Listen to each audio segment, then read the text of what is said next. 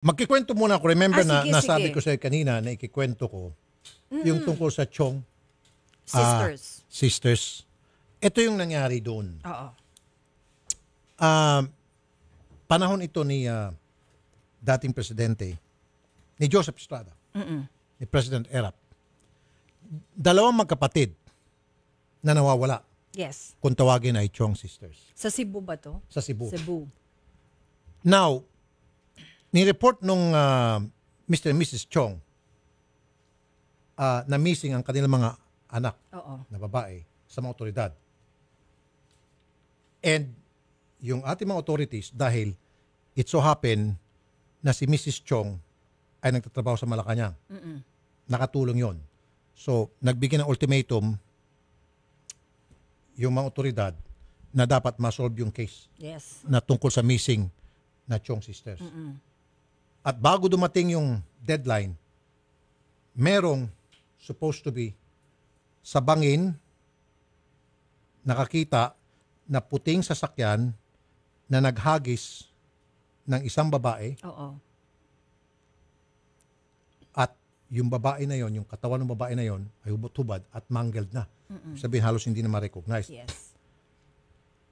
At isang uh, witness doon uh, na nag-sign na nakita niya at ito yung sasakyan, ito yung plate, so forth and so on. Yes. And based on the testimony from that girl, na may mga naarestong supposed to be ng mga Oh, suspect. yes, oo. At isa doon ay si Paco Larrenaga. At kung tamang pagka-pronounce ko, La, Larrenaga. Paco na lang sabihin natin. Oo, si Hirap na Paco. akong pronounce. Si Paco is mestizo Spanish to at uh, uh, it be, he belongs to the Osmeña clan. Mm-mm, tama. May pagkahawig to sa Hubert Webb case. Eh. Yes, oo. Mga, mga kilalang angkan kasi, yung mga naaresto So ito ngayon, na suspect. Um, ang unang ginawa nila is ipresenta itong si Paco. Ngayon, ang ginawa nitong defense lawyer, nangyari ang crime sa Cebu. Sa Cebu, Supposed yes. to be, it was on a July 16. Between 16 and 17. Kasi nakita ang bangkay, anawaw, nakita ang bangkay na hinagis doon sa bangin. Ang sabi ngayon ng teacher, kasi si, ah, si Paco nag-aral dito sa Manila sa isang eskwelahan, Oo. Culinary. culinary, Culinary. school. Tiningnan yung records ng school na yung crime na supposed to be nangyari on July 16 and 17, present si Paco Oo, nasa school. nasa school. At pumirma yung mga teachers, maging yung principal, Oo. na nandito siya at that time na sinasabing nangyari ang krimen. Tama. So yan. Maging yung mga estudyante, mga classmate niya, pumirma. Andito siya. Na at that time, yung date na yon nandito sa, sa Maynila. Andito sa Manila. Oo. So parang sinasabi ng defense lawyer, imposible naman, the whole day nasa eskwelahan siya and then lilipad siya ng Cebu, mangre-rape at babalik ulit Oo. kinaumagahan. Ganon yung contention ng defense lawyer. Oo, correct. Now, ito ngay mat- patindi ng patindi. Um, sa cross-examination, kasi yung isang bab- yung isang sister hindi na malaman kung nasaan. Oo, hindi. Yung isa lang ang missing pa rin. natagpuan, supposed to be, na yun ay isa sa mga chong sister. Yes. Pagdating sa court proceedings, hindi totally ma-identify ni Mrs. Chong na anak niya talaga yon. One, kumbaga, 100% hindi niya kaya ma-identify na, yes, that is my daughter. So how would you solve that problem? Oo, medyo mahirap na hindi niya kasi- totally masabing, yes, anak ko yan. Oo. So DNA testing, right? Y- yun yung pinaka-science na Sensible. pwede to prove. Yes. Now, na- ni-request ng defense lawyer na magkaroon ng DNA testing. Sabi ng judge, nope, Umayaw yung si judge. hindi. Kasi Hindi pinayagan. hindi pinayagan. Sa halip, ang ginawa ni judge, pinakulong yung de- mga defense lawyer. Ibang klase no si judge. Bakit may papakulong si defense lawyer? Ewan ko. Dahil lang dun sa request na Ewan ko. magkaroon ng DNA testing to Now, prove. ngayon, para mapatibay ang kaso uh, against these suspects. Ito yung nasa ano, ah, wala akong kinakampiyan dito. Ito yung na, nakita ko sa documentary. Documentary, oo, Okay. ma, talagang well-researched, well... Para mapatibay yung kaso against sa mga suspect, merong lumutang na isang supposed to be eyewitness kasama sa krimen. Okay. And sino itong eyewitness? He is from the US na convicted criminal sa kasong pagnanakaw. Oo. Dalawang naging kaso niya. So, kung magalabas-masok sa kulungan. Oo. So, sinabi niya na kasama siya sa pagdukot at pag-rape Doon sa sa dalawa. Chong Sisters. And ang condition naman ng defense, eh, mas paniniwalaan nyo yan kaysa dito sa mga teacher, sa mga estudyante. But anyway, Na mas credible. because of that, Mas- naging silyado na yung kapalaran ng mga suspect. So, habang nilitis yung kaso, nakakulong siyempre itong eyewitness. Oo. At habang nasa loob na loob ng kulungan si eyewitness, meron doon footage na dinadalaw ni Mrs. Chong itong si eyewitness, binibigyan ng cake at binibigyan ng mga regalo.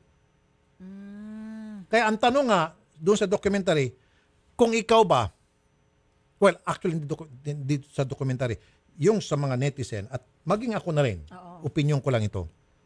Kung ikaw, anak mo, kasama, ah, ni-rape nitong lalaki na nagsasabing eyewitness, kahit pa siya ang naging susi para masolve ang case, regaluhan mo ba? No way. Bibigyan mo ba ng cake Boma Labs. sa birthday niya? Negative. Bibigyan mo ba ng mga damit? Hinding hindi. Eh, kasama sa ng rape sa anak mo yan, kasama sa pumatayan. Oo, hinding hindi. In fact, hindi mo talaga, 'di ba, unforgivable eh. Bilang nanay, Eto na. dun sa Nung makulong na yung, ah, nung totally na convict na, nagkaroon ng conviction and all, pinakawalan din itong si eyewitness. Oo. Now, uh, fast track. Several years later, binalikan yung isang, yung main uh, investigador sa kaso. Tinanong siya nung uh, nagdodokyo nitong kasong ito. Matatanda mo ba yung kasong yon? Sabi niya, yes, meron akong matibay na one piece of evidence na talagang magdidiin diyang kay Paco. Kasi sinasabi nitong uh, nagdodokyo na kulang ata kayo sa ebidensya. Oo, parang Sabi niya, no, meron akong one piece of evidence na talagang magdidiin kay Paco kaya nadidiin yan. sabi Sa- ng investigador. Oh, nung tanungin siya, ano yung one piece of evidence mo? Isip siya at sabi niya, nasa ano to, sa Tokyo. Nakalimutan ko na kasi matagal na. Akala ko ba tandang-tanda pa niya? Kasi siya yung investigador. Number one. Now, number two, kaya ko pinag-usapan to dah- dahil na, nabanggit po yung Rafi Tulfo in action. Sabi doon sa mga netizen, ah, tinag yung pangalan natin. Oo, nakatag ka doon. ah, para mabuksan niya ni Rafi Tulfo. Sabi ko, hindi ko mabubuksan to. However, gumawa ko ng research para ito may kwento ko sa inyo doon sa mga nagtag sa programa natin. Now, remember sabi ko, base sa testimony ng isang mga ng isang babae na nakita sa supposed to be paglaglag sa bangkay doon sa bangin sa bangin. nakita ang bang, bangkay doon sa bangin, nakita yung kotse. Oo. Yung babaeng yon. Sa isang video to, Oo. hindi doon sa docu. Sabi ng babae, pinapirma na lang ako dyan eh. English, hindi ko maintindihan eh. Nako. Hindi ko alam kung ano mga pinapirma So sa wala akin. siyang personal knowledge? Wala. Wala. Wala. Na, meron daw siya narinig na ingay, pero hindi niya personal nakita sa dalawang mata niya na merong binababang babae o may nakita siyang kotse. Wala. Nung sinasabi raw niya, ba't ko pipirma niyan English yan? Di man ako makasabot din ha. Ano naman na English? Pwede ba ibisahin ninyo sa Hindi ako? na maintindihan. Basta pirma ka lang akong bahala sa'yo. Sa takot, pumirma na rin siya. Nako. Doon pa lang, ano, may... Now, isa pa, afterthought. Yung judge na naghawak ng case, several years later, nagpakamatay. Ito na yung judge sa Cebu na natagpuang Ah, yan pala binaril yun. yung kanyang sarili sa loob ng kwarto sa hotel. Oo, oo, oo. Ito na yun. Nagtangkas sa hotel at binaril niya. Oo, oo. Sarili niya? Balitang Ito yung balita judge. yun. At yung prosecutor, investigator, prosecutor, lahat ng mga nag-handle ng case na promote. Mm, parang ano, parang... Pero years, Regalo. years later, nabaliwala yung promotion nila. Kumbaga, nagka-problema sila. Oo, matapos yung promotion. At ito pala yun, ano, yung judge na may hawak. Now, Nagpakamatay. ang tanong, yung, kasi may mga nagsasabi na baka buhay pa yung dalawang magkapatid. Pwedeng buhay pa, Pwedeng posi- oh, posible. pwedeng hindi. Posible. Kasi yung nag-iisang bangkay na supposed to be nakita at sinasabing ng korte, yun na yung isa sa Chong sister. Oo. Hanggang ngayon, hindi pa talaga klaro kung siya talaga because dininay ng judge na ipa-DNA test. Kaya nga, yung pagkakataon na yun, yun sana ang posible makaresolve, makasolve Exactly. sa kaso. Pangalawa, nawawala yung isang Chong sister. Yun. Ah, up to now, di Kaya nga may mga balibalita na buhay pa yung dalawa. Oo. Posible nga, no? Ang tanong, ano bang motibo, ano bang nangyari sa lahat nito? Bakit nagkakaganito? Ano bang reason, bakit dinidiin nitong mga Chong etong Si Paco. Paco? Malalim. Panoorin nyo na lang po. Ayoko na magsalita. Oo. Panoorin nyo na lang. Yung sa ah, docu na um, Give Up Tomorrow. Yun ang title, Give Up Tomorrow. Bakit Sige, Give Up Tomorrow? Kasi si Chong, nung, na, si, si Paco, nung nasa loob siya ng kulungan, parang gusto niya magpakamatay. Pero everyday sinasabi niya, hindi ako magpakamatay ngayon. Tomorrow I'll give up. Tomorrow, tomorrow, hanggang sa napaprolong niya yung life niya. Paano siya napunta ngayon sa Spain? Kasi nakialam na yung UN. Oo, yung UN. Yung UN di na pinakinggan. nakialam. Yung ah, Spain. Ayun, sa panahon ni Gloria, ah, napayagan dahil ah, sa, yung ah, gobyerno Kasi yung Spain. tatay ata ni Paco is, ano, Yes. uh, foreigner. And then si Paco rin And is si ah, Paco rin, Spanish oo. citizen. Kaya- Ni-request na kung pwede, doon na lang niya tapusin yung kanyang natitirang, And pwede pala yun. Oo. Kasi nga, hindi naman siya Filipino citizen. natitirang sentensya. Oo. Yun yun. Kaya, nako, papanoorin ko yan. Give, ano? Give, Give up up tomorrow. tomorrow. So bago nyo panoorin po yung pelikula, I don't know kung ano, yung- I- I'm not promoting the film, pero meron daw atang pelikula na ginagawa niyan. Bago nyo po panoorin yung pelikula, para hindi ko kayo maligaw, hindi kayo malito, magkaroon kayo ng idea. Para bang ako kasi pag merong sine gustong panoorin at may libro, babasahin ko muna ng libro eh. Ako rin, gusto ko yung merong Kasi yung, backgrounder. yung libro original eh. Oo. Yung right. Di ba? Pag sa sine, may madagdag, may kulang. Panoorin nyo po muna yung Give Up Tomorrow bago nyo panoorin yung pelikula. Para magkaroon kayo ng guide. Oo. Kung ano ba talaga Very ang totoo. controversial nga yun, yung, yung kasong yun. Very, very controversial. So, tama ka. Posible nga talagang yung dalawang Now, ito pa. sisters. Buhay pa. Ito pa, nung interview na ngayon si Mrs. Chong, kung anong reaksyon niya, dahil si ah, Paco ay napa, napadala na sa Spain. Din-interview siya. Hindi ko maintindihan kung bakit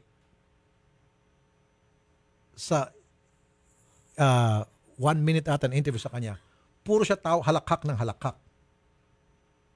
Parang masaya? Hindi I don't know. Malungkot? Hindi siya. I don't know. Maganda yon panoorin niyo yung ano, yung documentary. Nakakaintriga? Masyadong misteryoso? Di ba puzzled pa rin hanggang ngayon? And then kayo na nung mag-decide kung yung pang pagkagawa ng documentary, kung yung ba ay ah, ah, sinungali, kasinungalingan. May mga interview talaga eh. Oo, meron. meron may na- katotohanan. Na, napanood ko yun. Napanood mo yung documentary? Napanood ko. Give Up Tomorrow?